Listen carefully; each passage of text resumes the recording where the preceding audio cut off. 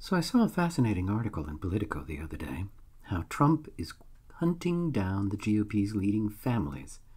In his attempt to exercise full dominion over the Republican Party, Donald Trump has reserved a special fury for the dynasties that helped shape it, by David Siders.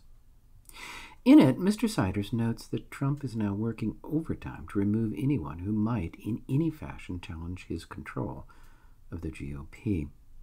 Thus, says the article, the former guy has directed his vitriol and, and his fanatical followers at such political clans as the Bushes, the Cheneys, the McCains, the Romneys, and, well, anybody else who has a remote claim to being among the party's historical grandees. I find this disturbing and worrying because, say what you like about them, these people and their families have done a great deal to shape and maintain America's center right politics and the Republican Party for decades. For them to be so unceremoniously and so completely flushed from the ranks of the faithful is sad and frightening. We are seeing what was once a great party, the GOP, transformed into a mere cult of personality. And what happens, I wonder, when Trump himself is no longer there to head it up?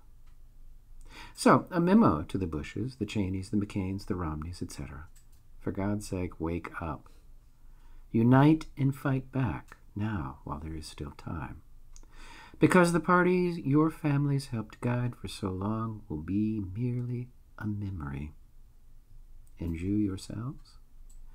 Who is to say that hunting you down will remain in an age of Trump merely a metaphor? Until next time, onward and upward.